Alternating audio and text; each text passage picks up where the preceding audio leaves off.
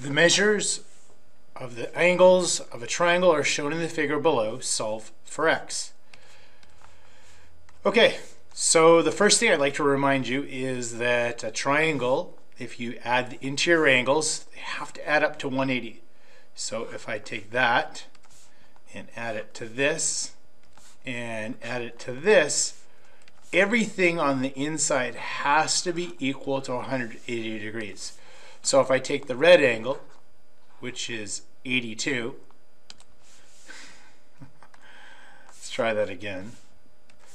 The red angle, which is 82, and add that to the green angle, which is 41, and we add that to the blue angle, which is x, that all of that should be equal to 180 degrees.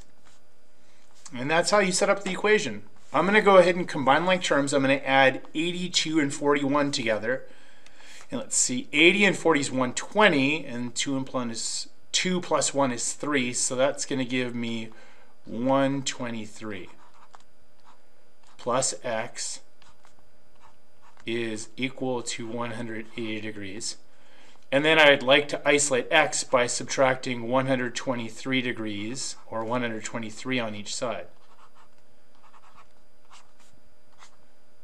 Cancels, and now I have x isolated, which is our goal, and 180 minus 23 leaves me with 57. So the missing angle in this case is 57. They already put degrees.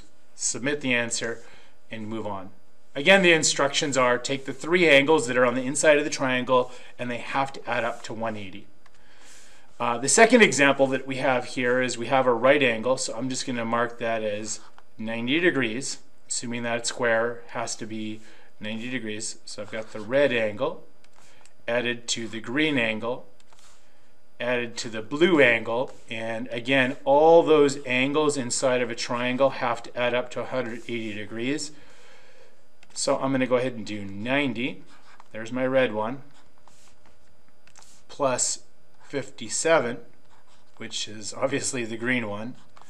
And then we will add that to x, which technically should have been the blue angle. I can fix that. Plus x should be equal to 180 degrees, or has to be. I'll combine 90 and 57. That gives me 147. So I've got 147 plus x is equal to 180. And then I'll subtract 147 from both sides. Again, just solving basic equations. And we have x is going to be equal to, let's see, that would give us 3 to get us to 50. That would give us x is equal to 33. So I'll put 33 down here, and that's pretty much it. Again, write an equation, solve for x.